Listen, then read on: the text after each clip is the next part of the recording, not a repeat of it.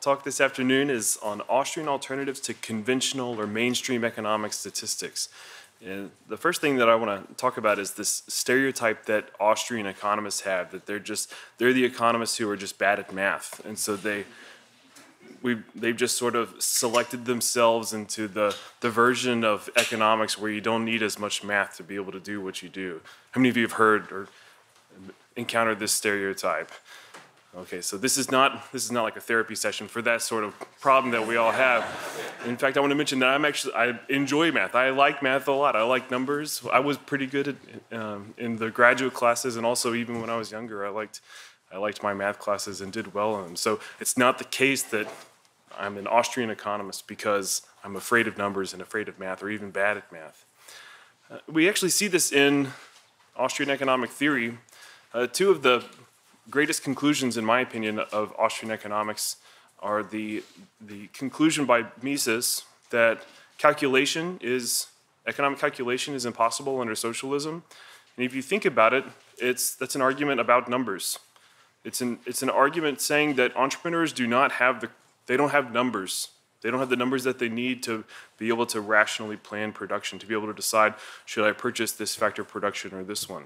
Should I employ this person or this one? Should I produce this good in this color, in this quantity, or the opposite, right? So all of the decisions that entrepreneurs make are based on the ability to at least do arithmetic with, with economic data, be able to anticipate profits, anticipate revenues, and compare it to the cost of production that they would have to pay today. So numbers are important in economic theory, in Austrian economic theory. The other case is the is Austrian business cycle theory, which we talked about yesterday, when the central bank or the fractional reserve banking system increases the money supply through credit markets, it lowers the interest rate below the social rate of time preference. So there's a, a difference in what there's a difference. Uh, there's a change in the numbers that's not that's not based on a real change in in people's preferences or people's time preferences. Which so it's another. So we see at least the importance of of good real numbers in economic actors' ability to make good decisions in the market economy. So we're not afraid of numbers. We use them quite frequently when we do economics. Uh, before I get into the, the meat of the lecture here, though, I, always, I usually say this to the end, but I really should push it up to the beginning so that I can talk about some of the important works in the Austrian literature. First, we have Murray Rothbard's Toward a Reconstruction of Utility and Welfare Economics. This is an excellent article by Rothbard that uh, he, he he criticizes the neoclassical approach to consumer decision making, and he shows that the, the best way to consider or think about consumers making choices is in the qualitative, causal realist sort of sense. So they have subjective valuations, and he uses the, the critical concept of, of demonstrated preference. And when he's talking about welfare economics, he uses the, the unanimity principle to, to to, to come up with these conclusions. It's an excellent work. I, I'm of the opinion that if I don't know what the conversion rate would be, but if all of the mainstream economists read this work, we would get we would get a lot of brand new Austrian economists if they just you know read this and tried to tried to reconcile their own ideas with what Rothbard says in Toward a Reconstruction. Next is Roderick Long's Realism and Abstraction in Economics. Here he talks about uh, the positivist way of doing economics and the the difference between making precisive and non-precisive abstractions. So the way, if you use mathematical models to do economics, it means that you have to, you have to specify what a utility level is. You have to specify what a, a price might be or, or make a, a, bunch of, you have to make a bunch of very precise, specific assumptions about what people are thinking, how they're acting, what, what choices they're making, as opposed to the way we do economics in, in the Austrian school, a lot of those things are left unspecified and it doesn't influence our theory. So the, the, the fact is that we know that we have diminishing marginal utility no matter what the no matter what the good is, no matter what the means are. If we have an additional unit of it, we know that it's going to go towards a less important end. So it doesn't matter what the good is. It doesn't matter what the actor's motivation is. So they they could have nice motivations. They could have evil motivations. They could they could be thinking about something else entirely. We we have economic theory that is universal and it, it it's it's it doesn't rely on precise abstraction. So an, another excellent article I recommend that you read. I have some uh, pages here from Human Action by Mises. Here he talks about some of the fundamental issues of using math in economics and, and how, how just on a fundamental level, we can't use equations to talk about human action. And uh, Hans Hermann Hoppe's is research based on the causal scientific principles possible in the social sciences.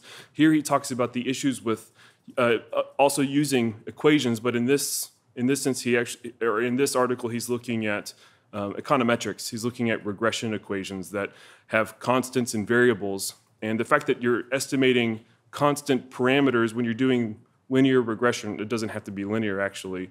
It means that you're making an assumption about uh, some sort of uh, constant mechanical relationship in human action that can't exist. So there are no constants in human action, which means that if you're applying economic data to, to linear regression in the case that he goes through, it means that you're, you're just coming up with, with some sort of correlation that happened in the past, in history. You're not coming up with something that would apply to all humans in all cases for all time, which is what economic theory uh, deals with.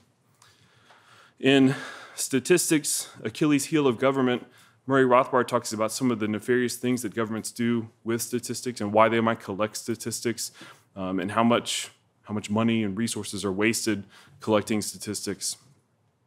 And uh, finally, uh, we have Austrian definitions of the supply of money by Murray Rothbard. And we'll talk about this in more detail, but here's, this is a good example of using good economic theory to come up with a better statistic, to come up with a, a good version of what the, what the mainstreamers are coming up with. So we'll, we'll see that in more detail later.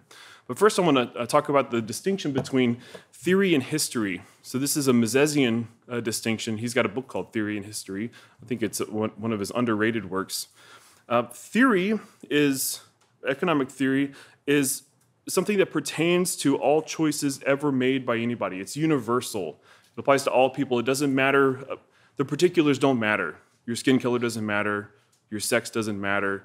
Uh, as long as you're making choices about the uncertain future, as long as you have intention and goals, you're thinking about means and the attainment of ends, then it means that the, the economic theory applies to you. So it's not something that is particular to certain people in certain time periods and certain in certain cultures. It's, it's universal in that sense. The, as we mentioned before, the particulars of the choices are not relevant. So we can talk about diminishing marginal utility over any sort of good, over iPhones, Apples, cars, it doesn't matter, haircuts. So the diminishing marginal utility applies to anything. The particulars don't matter, including the specific motivations that people have. Importantly, economic theory is not falsifiable by experience or observation. So since we use logical deduction based on the, the universal categories of the mind to come up with conclusions in economic theory, it means that it's not possible for us to go out and see something that would, would make us go back and say, oh, that economic theory is, is incorrect. That, that falsified the, the economic theory.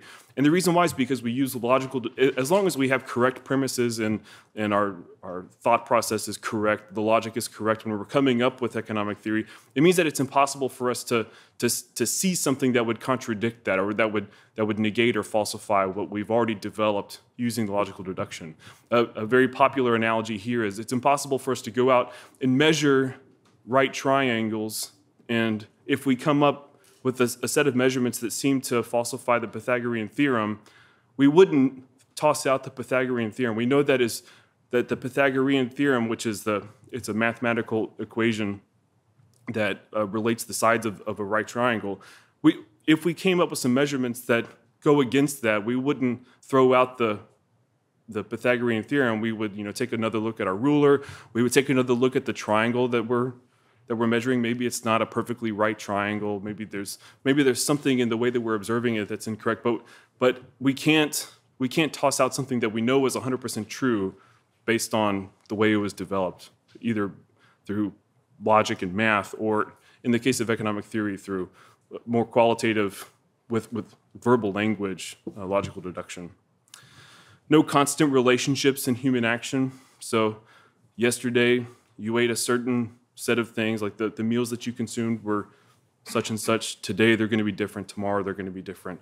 There's there's no there, there's no uh, pattern in human action that we can say, as a matter of fact, it must be the case that people are going to do something in particular on a given day at a given time. So since since we can't uh, make since since we can't do that sort of thing, it means that we can't use math. We can't use equations to to try to predict what humans are going to do in the future. Or we can, but we, it's all the outcome of those predictions we have to always take with a grain of salt.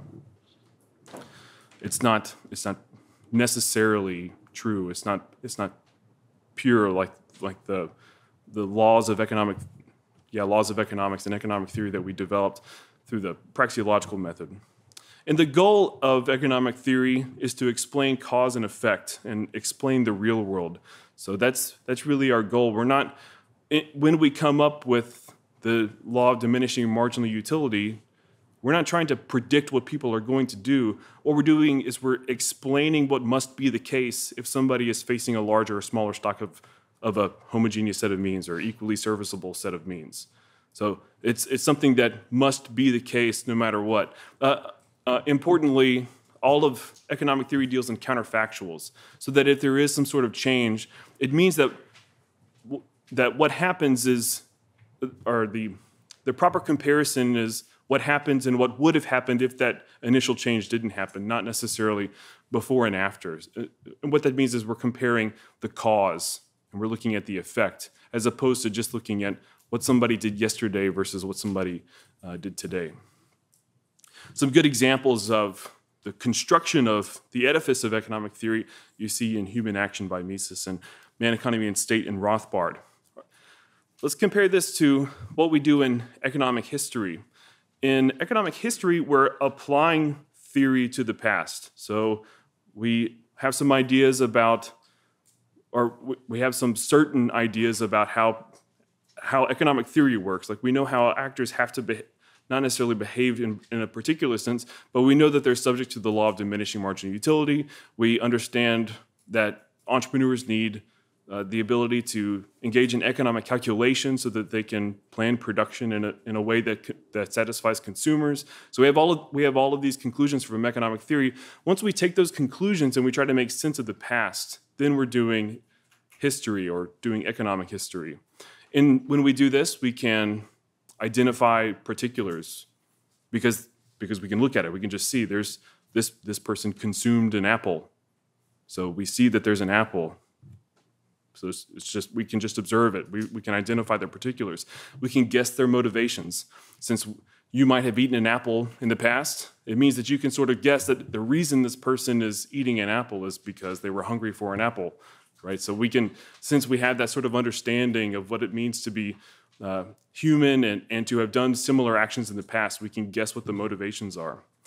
However, it's always open to interpretation. It's not, it doesn't have the the rock solid certainty that we have when we're when we're coming up with economic theory.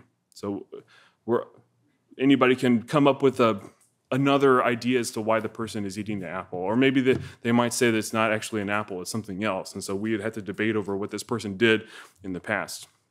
There's still no constant relationships. However, we can use statistics. We can, we can look at correlations in the past. So we can, we can see how the price changed from day one to day two or year one to year two.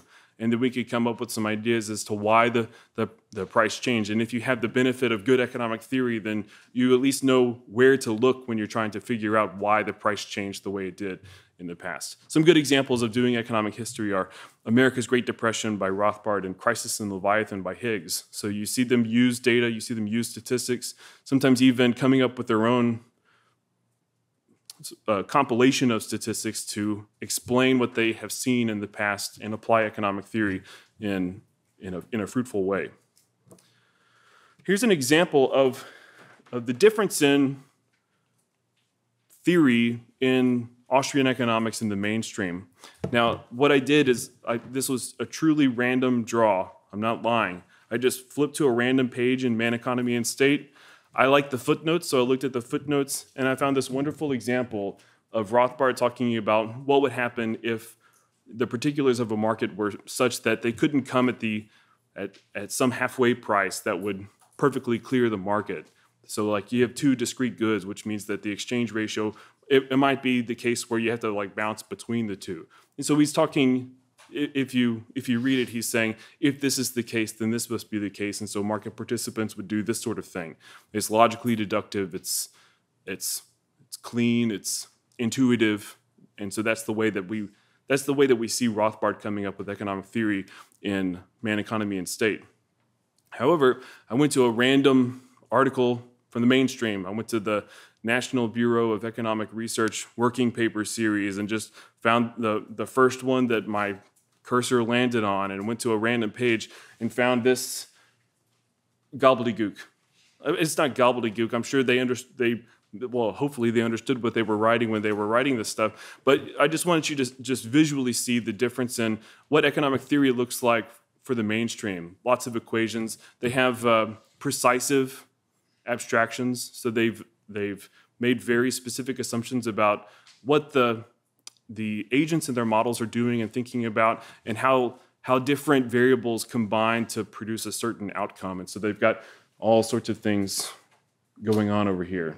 So there's there's the outcome of, of human behavior is just based on a combination of constants and variables. If you take a look at Rothbard's uh, preface to Mises's Theory and History, he's got some, some great quotes here. He, uh, first, he says, Therefore, atoms and stones can be investigated, their courses charted, and their paths plotted and predicted, at least in principle, to the minutest quantitative detail. People cannot.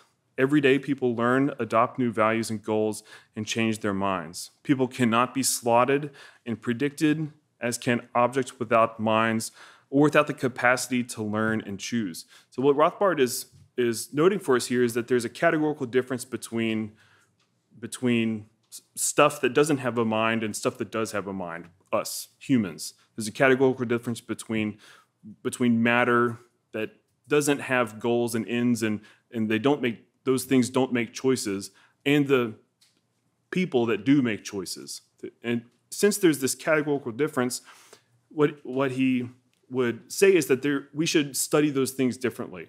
Uh, an example I like to give is uh, if you if we if we could open these windows and drop a tennis ball out, we would we, we could drop the tennis ball and see that it would fall down to the ground. And we could do this a bunch of times and we could come up with some sort of general idea of of how the how the ball behaves when we let go of it. It falls down to the ground.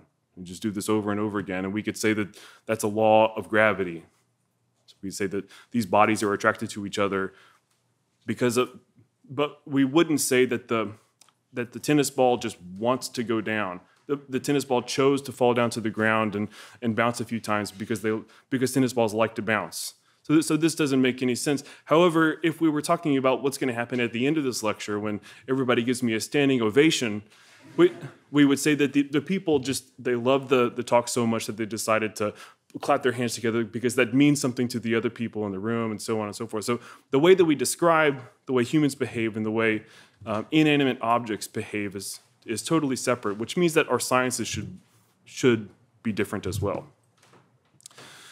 The use of uh, another quote here that I think is excellent the use of statistics and quantitative data may try to mask this fact, the fact that it's impossible to test economic theory, but their seeming precision is only grounded on historical events that are not homogeneous in any sense.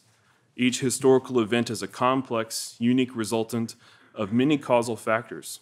Since it is unique, it cannot be used for a positivistic test, and since it is unique, it cannot be combined with other events in the form of statistical correlations and achieve any meaningful result. So here, humans are inherently unpredictable because of just the fact of human action. It means that even somebody who is in a similar situation, a very similar situation, might choose to do something different than, than what they did the last time they were in that very similar situation. So there are no constants in human behavior we, we can't use these sorts of quantitative methods to predict what humans are going to do. Okay, so let's uh, take a closer look at why, why is the mainstream so focused on data? Why are they so focused on statistics? What is it about the way that they do economics that, that leads them to, to conjure up all of these different data points and, and put them into regressions and, and to try to come up with some mathematical relationship between variables. And we'll see that the way that they do microeconomics and the way that they do macroeconomics is in a, fundamentally and and through and through it's a, it's mathematical. It's all based on math. It's all based on mathematical models that are supposed to depict and describe the way consumers behave or the way the representative household behaves or the way producers behave. So in mainstream microeconomics, individual agents select bundles of goods to consume to maximize their utility. The, since we're going to draw curves in this x and y space, it means that the good, right off the bat, we see that one assumption that you have to make here is that the goods are continuous, that you can have 0.00001 unit of a good and 0.0000001 of a good as well. So as opposed to discrete goods that we're all we all know and have experience consuming and, and using in our in our, our various activities. So we we use and consume and use in production discrete goods, not continuous goods. Yet at the very outset, we see that you have to make this very implausible assumption about how we how we do things because you're you're drawing a curve in x and y space. So the goods are continuous, and utility is given by a mathematical function. One popular uh, version of this is the Cobb-Douglas utility function. So x to the alpha times y to the beta in this case gives you a certain level of utility. Your choices are constrained by a budget. No argument there. Yes, our choices are constrained by a budget. And uh, but what that means is that you can you can do some calculus. You can do a constrained optimization uh, problem to see what is the optimal bundle that this consumer will consume, and it's going to be at the the tangent point here. So here's their budget constraint. This blue line. Here are their different uh, indifference curves. And you'll notice that at point A right here, there's the, the point of tangency between their their budget set and the, the best possible indifference curve that, that they could consume on. So lots and lots, you'll notice that there are lots and lots of assumptions built in already, just in the, the basic setup of how uh, mainstream micro, neoclassical microeconomics um, is done. We'll talk about more of the issues here in, in just a moment. But just to immediately compare to the, the way we conceive of consumers making choices in causal realist economics is that individuals act to bring about a preferred state. Preference can only be demonstrated in action.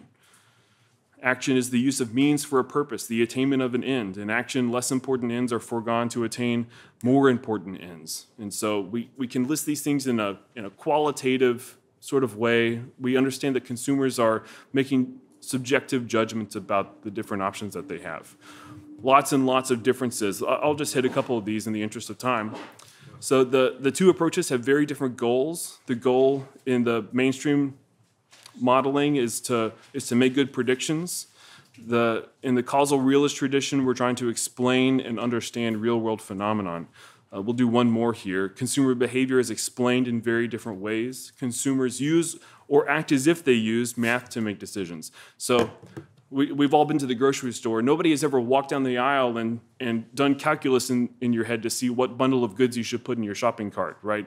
But, but that's actually a straw man. So the, the neoclassical economists, they don't say that you actually use math to figure out what bundle of goods to consume. What they say is that you act as if you do, but it's still fun to make jokes at their expense anyway, like this. So here's a, here's a couple, they're trying to decide if they should have kids.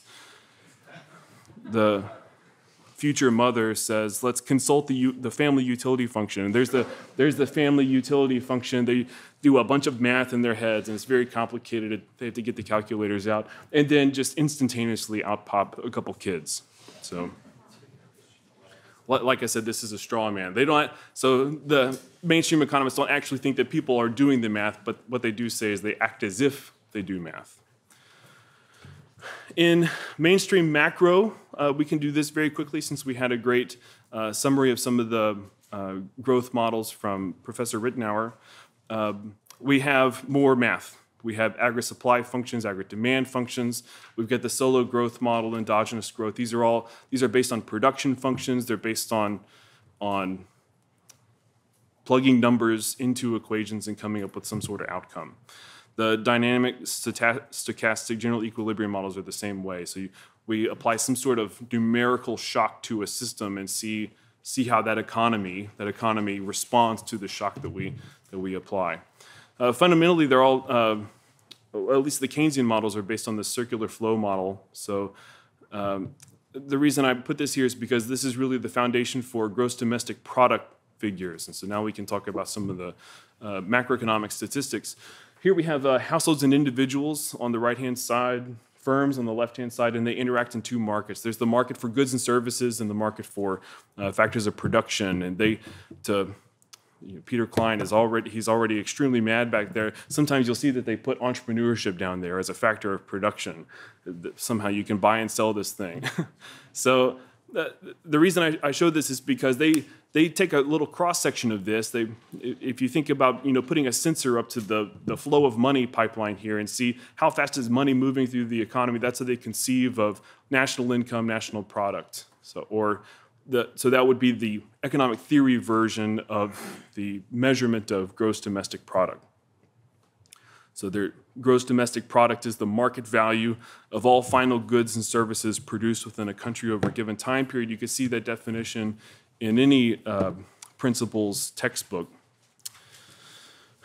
They try to solve the, the units problem by saying that we use market prices. So, so since everything in the economy has a market price, we can, we can add up we can add up all of the spending on everything and we can it means that we don't have an apples and oranges problem we'll see the austrian response to this later um, but what's important to note is that they are counting final goods which means that they exclude intermediate goods uh, they're only looking at domestic production so it's all everything produced within a country um, and it's a flow variable, which means that it's all production and spending that happens over a certain time period. And then there's this famous equation that uh, uh, Keynes used a lot, the y is equal to c plus i plus g plus net exports, exports minus imports. and we have uh, GDP over time here. Um, mainstream economists are actually familiar with a lot of the flaws with GDP, and so these first four you would actually you would see in any mainstream textbook. So it seems like they know that there's some problems here. Uh, a, a, few of them are household production is ignored. So if you mow your own grass, clean your own house, you know, watch your own kids, do all these things that there are there are services provided for on the market somewhere. If you do it yourself, it means that there's there's no spending done since you're doing it for yourself, which means that it doesn't get counted in GDP even though it is a part of national product. It is a part of all production within an economy. It just doesn't get included in GDP. Black market transactions can't be counted because they're below the radar. Um, GDP per capita is not a, a, very good measure of, or it's it's not a very good measure of overall well-being. But a lot of people like to use that data. So if you take total spending and divide it by the the population, people like to use that as which country is has the happiest citizens or something like that. So people use the, the data in that way, but it's not a, it's not a measure of, of happiness or, or well-being in that sense. It's just spending on final goods and services. Another point is that leisure is variable. Um, so uh, Professor Engelhardt talked about this in the in the last lecture. We we value not producing sometimes. Like on the weekend, we like to relax. We spend all week working, and we spend the weekend you know, binge watching Netflix or something. So we're not, we're not producing, we're not, we're not increasing the amount of stuff in the economy, but we're getting what we want. We're, we're being voluntarily idle in that sense. We decrease GDP, but we're getting something that we value, which means D GDP would decrease if we increased how much leisure we enjoy, even though we're getting what we want. Okay, so like I said, those things appear in, in most mainstream textbooks. However, these last three here are more Austrian criticisms. The stuff inside GDP is heterogeneous. Even though they're using the market price of all final goods and services, it's, uh, it's heterogeneous and unequally distributed throughout the population. It, it tells you the total dollar amount, but it can't tell you anything about income distribution, wealth distribution, growth potential, which, as we discussed in the business cycle lecture, would be probably a good measure of that would be how much we've saved in the past. What is our stockpile of saved resources? How, how much stuff have we put away? What's our stockpile of, of consumable goods that we can use to last us through a longer period of production that would yield economic growth? So you, you actually you wouldn't see that in GDP. You don't see things like the size of the government. We'll uh, talk about that more in point seven. Another issue with GDP is that consumption is exaggerated and international trade is understated. Uh, consumption is uh, exaggerated because we've excluded all the spending on intermediate goods in the, in the structure of production. So if we're just looking at final goods and services, final capital goods and, and consumer goods, it means that we're missing out on all of the spending that happens in the, in the stages of production that's not a final capital good or final consumer goods. So all of all of that spending gets excluded. And uh, Robert Murphy has a has a great um, example that highlights the fact that international trade is understated. That involves two islands, an island of meat eaters that only grows vegetables, and an island of vegetable eaters that only only herds cattle or something like that. And so they trade with each other. They don't consume anything that they produce themselves, 100% of, the, of their economies is international trade, but if you, if you calculate their GDP by C plus I plus G plus net exports, all you see is the C. All you see is the consumption that they do. The, the net exports, the exports minus imports, uh, it cancels it out. So if it's like $1 trillion worth of the vegetables for the $1 trillion worth of meat, that goes to zero, and all you see is the consumption. So the importance of international trade for an economy is, is understated. Similarly, consumption is overstated or exaggerated. Finally, probably most important, I would say, is that government expenditures are included in GDP, but they're categorically different than the other components. Without market prices and the profit and loss test, there's no way to measure what the government produces. All government expenditures are also made possible by taking from the private economy. So in the private economy, businesses live and die by the profit and loss test. They live and die by, by whether or not consumers value what the, what the firm is producing. So if the business incurs losses, they go away. The businesses or the entrepreneurs are seeking profit, and so there's that motivation that they have to provide what consumers value. There's no such thing for the government if you think about it which I'm sure you all have here at Mises University. So it doesn't matter how much consumers value, if we can call them that, it doesn't matter how much citizens value what, what governments are producing for their citizens. If, if governments are collecting tax revenue or, or using inflation to acquire revenue, it, it's not connected to what they're providing to citizens, which means that we can't, we can't say, as a matter of fact, that what governments are providing is is socially beneficial or something that, that the citizens like, unlike what happens in the market economy where private producers are producing for a profit. To that end, Robert Higgs has, has subtracted G from GDP. He subtracted government spending from gross domestic product. So government expenditures are removed from GDP to make private gross domestic product. And he does this in an excellent article, Wartime Prosperity, a reassessment of the US economy in the 1940s. And what he shows is that if you look at GDP during uh, World War II, it looks like we had this massive boom. It looks like the economy was doing great. Like the, this is like the, the greatest economic boom in, in all of US economic history. But if you look at private GDP, so if you take out all the spending on war goods, what private citizens, what your regular Joe had, regular Jane had, they had they, there was a huge decrease and what was left over for them. Huge decrease in private GDP. So the big increase in GDP was just because the government was mobilizing the entire economy to make things that would help them wage war, not necessarily what people want, not necessarily what people need to eat and you know build homes and drive cars and go to movies and all that sort of thing. So this so this exercise of just understanding the fact that government expenditures are categorically different has led this Austrian economist to come up with a better measure compared to just regular old GDP. It reveals what real people actually experienced in the war economy. David Howden does something similar, but here he's looking at per capita statistics, and uh, he notices that uh, gross private product divided by private worker reveals that there's a bigger fluctuation in, in recessions and financial crises compared to what what government spending divided by the public worker would reveal. So here, if you just if you do the per capita differentiation between private workers and, and public workers, you also see some interesting um, insights.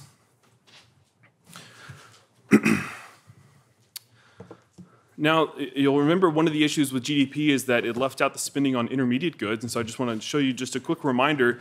What's missing is all of the spending on the intermediate goods in the in those middle stages, the early and middle stages. Is, so there's there's a lot of spending in the economy that's not on final goods and services, but it's still spending. So it, it, it almost seems sort of arbitrary. Like why just final goods? I, I know what they would say is because that they want to avoid a double counting problem. So they don't want to count the flour and the bread and the, the sliced bread and the and the sandwich. It seems like they're double counting the same thing that's being sold, but spending is, is spending. And so if you wanted a measure of total total spending on everything, final goods and intermediate goods, then you would use a measure called gross output or gross domestic um, expenditures, which was advocated by Murray Rothbard and, and uh, Mark Skousen as well. So GDP only counts final goods and services.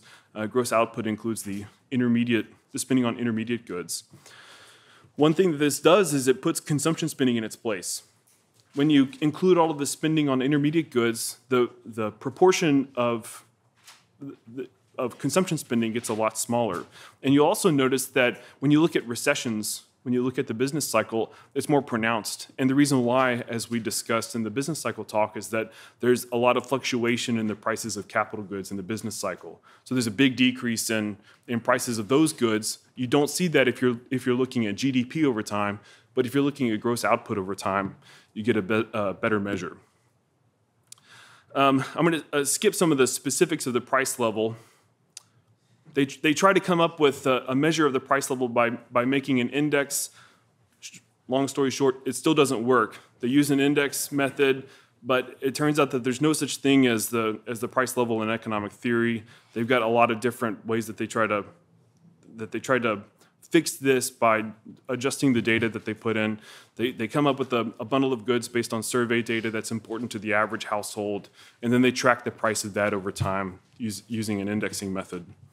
Um, skip to the good part, the, the problems with it, the, the criticism. So uh, even with indexing, there's still an apples and oranges problem with, with the CPI, especially when looking at changes in CPI from year to year. And the reason why is because what's important to the average household changes over time.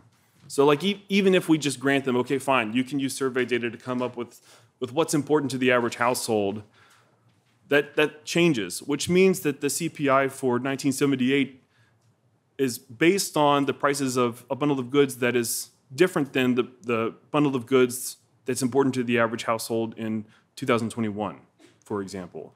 So the thing is changing. So if you're looking at changes in CPI over time, you're comparing, you're literally actually comparing apples and oranges because you've got a certain amount of apples in one of them and a certain amount of oranges in another one. So um, another issue with CPI data is that it hides relative prices, which are important to consumers and producers, and it also hides uh, Cantillon effects. So you don't see you don't see the, the ripple effect of money entering the economy, and then certain prices are bid up first because they're first receivers of the new money, and then the people who receive that money they can go on and spend it, and so the so prices rise in an uneven sort of way. There's not a proportional increase in all prices, but if you just look at CPI in one year and CPI in the next year, you sort of get the impression that all prices increased by you know, 2% or something.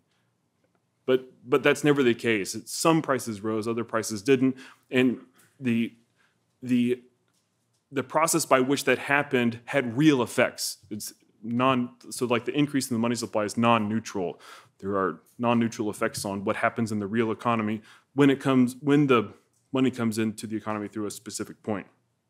And finally, most importantly, there's no such thing as the price level as one number in economic theory. And we've got a, a quote from Rothbard there that just you know, lays that down. Uh, I want to talk about uh, one of my favorite uh, Austrian alternatives to conventional economic statistics, which is the true money supply. That's the best name.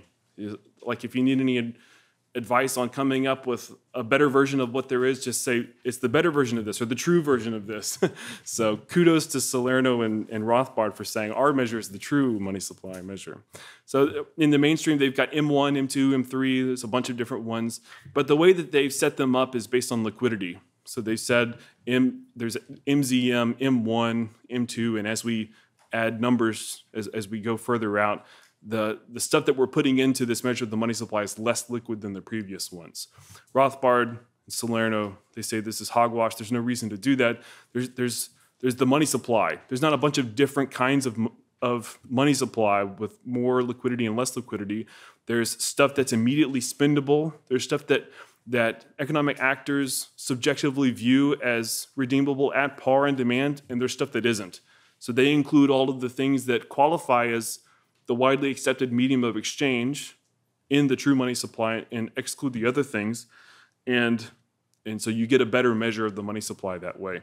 And if you're interested, the uh, Ryan McMaken at Mises.org, he he regularly updates the true money supply um, if you if you keep track of that. So it's fun to watch. But you'll notice that the correlation of changes in the true money supply and the business cycle is it's it's nice and tight. It, it, it, it has it has a good correlation. So it's another example of good theory yielding better statistics than what's offered by the mainstream.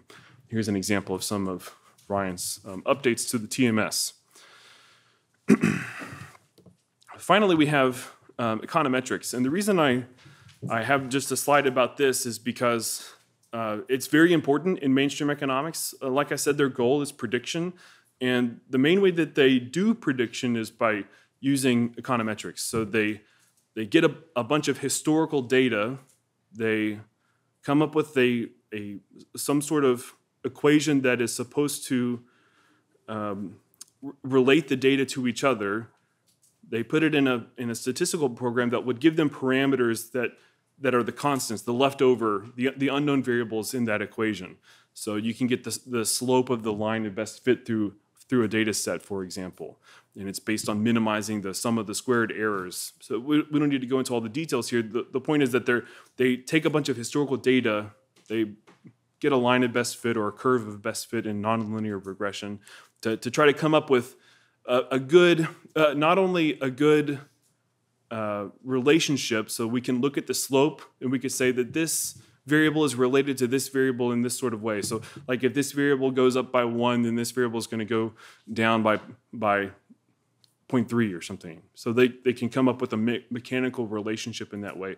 But also they're interested in the in the unobserved, the, the, space between the data points and the space beyond the data points so that they can come up with a prediction of, of what might happen if, if x is this, then what would y be? So we have all this data, what would y be in that case?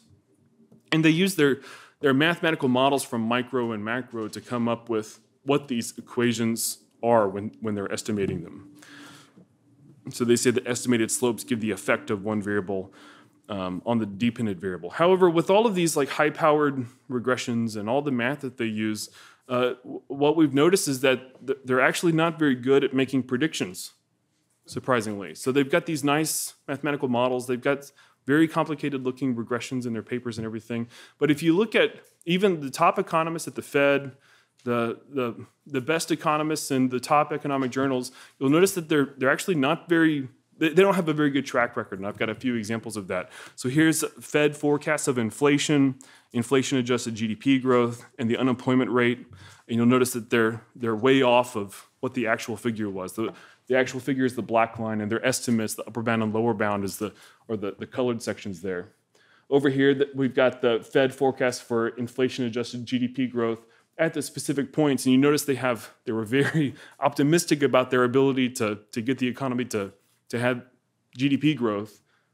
What actually happened is, is the gray bars down here. So they had all these nice anticipations. Now, one one kind interpretation of this is that you could say, well, they're one part of their job as as members of the of central bank or being officials there is they need to they need to project optimism. Like we can get growth by just saying everything's going to be great in the short term future, and so that might that might lead to better GDP or better outcomes if they just have that sort of announcement effect.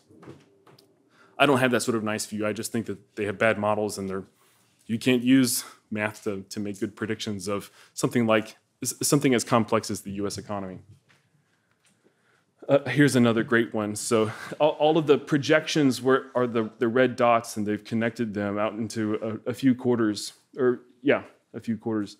But then the actual treasury yield was way down there at 2%. So, so, and this, so these are the top, what do they say? Not a single respondent in January's Wall Street Journal survey of economists predicted the yield on the 10-year Treasury note would fall below 2.5% this year. So it's just way beyond what anybody was was predicting. But there's some interesting projections here. So here's one guy like down here at the bottom, and then by the end of 2019, he expected it to be all the way up here. If you just connect the dots, so some interesting characters there. Economists know that they're they're in trouble. They know that their models are not working very well. There's some some quotes from top economists and people who are who are linked a lot um, in social media, and they know that they did not do a good job anticipating the the most recent financial crisis. They did they're, they're not doing a very good job of explaining business cycles. I've got a few quotes here that show that. Uh, one of my favorites is Paul Romer's here presenting a model at like at an academic conference is like doing a card trick. Everybody knows that there will be some sleight of hand. There's no intent to deceive because no one takes it seriously. So, um, one of the presidents of the one of the Federal Reserve district banks says that macroeconomics has little to offer by way of answers to these uh, questions like why does an economy have business cycles? Why do asset prices move around so much? I would suggest that they attend Mises University, perhaps.